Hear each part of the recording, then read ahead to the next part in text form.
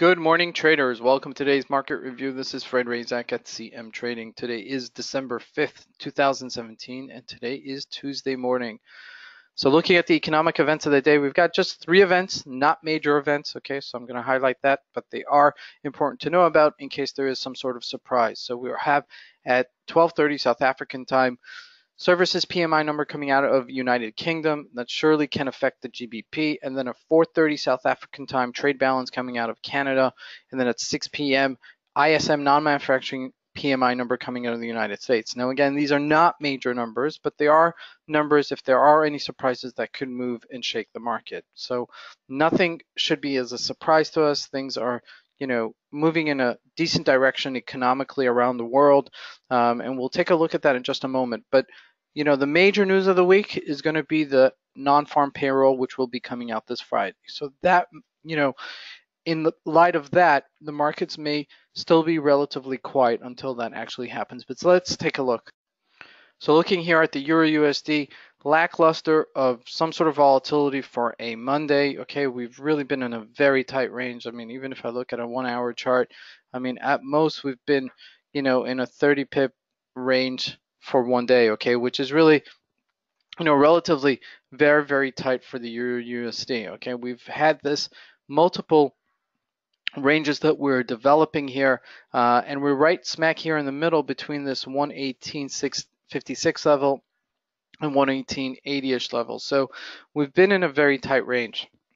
So I don't expect any sort of impetus until maybe Draghi will be speaking on Thursday or the non-farm payroll. So just you know, if you ha- you're already in a position in Euro USD and you're up on it, I would actually look to you know close it um, as the news will develop into the last NFP of the year.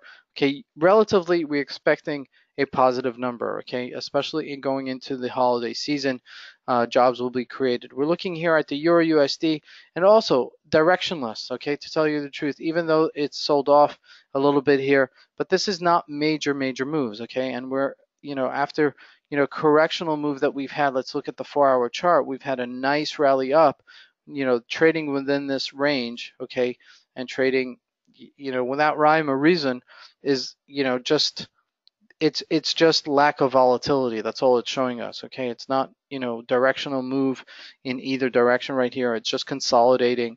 Uh, so I would wait as the markets actually resolve themselves in terms of the economic news as you know the news unfolds. Looking at the USD ZAR, getting a little bit stronger versus the dollar here. The dollar has been sliding. Okay, that then against the secondary uh, currencies. Okay, and you see that right here at 1346 we broke this 1363 earlier in the week. So that is actually uh, something to look at. Okay, still very choppy trading. Okay, who's to say that it won't bounce really sharply today to cover this? But you know we are directionally, uh, you know, receding here uh, and making back some ground. So I'd look for a possible head and shoulders here. Okay, this would be the head.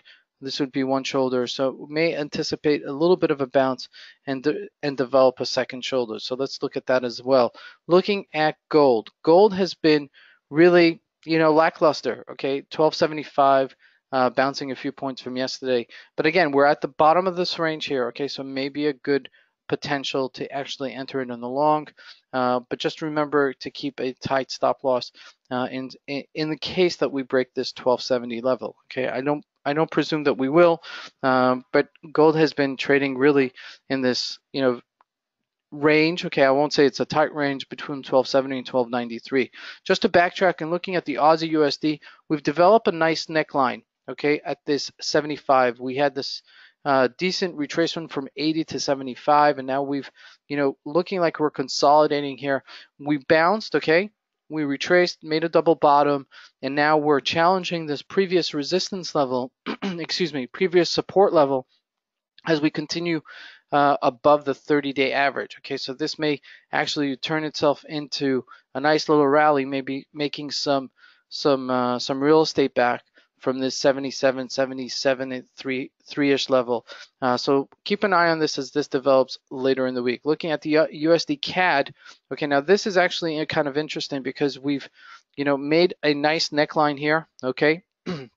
Not to say that this is a massive support level at 26, but you see that we've been trading also within this range of 28 and 26ish level, and we're right here at a uh, threshold. So let's see with the news coming out if that's going to make any sort of impetus. Maybe we'll get a nice small bounce later today with the trade balance coming out at 430. So let's take a look at that. Now looking at the Dow, Dow had a massive open yesterday, over 200 points, new all-time record highs. Okay, I sound like a uh, broken record because I keep on saying this at 24,500. We closed the gap, or we're closing the gap right here at 24,366. Now we may make this back as the week unfolds. Okay, so look for opportunities to jump into it. Okay, the banks are very strong, the fundamentals are very strong in the United States. So, you know, there's no reason we can't go into the year with all-time highs. Okay, generally, like I've mentioned, going into the Christmas season, we're only about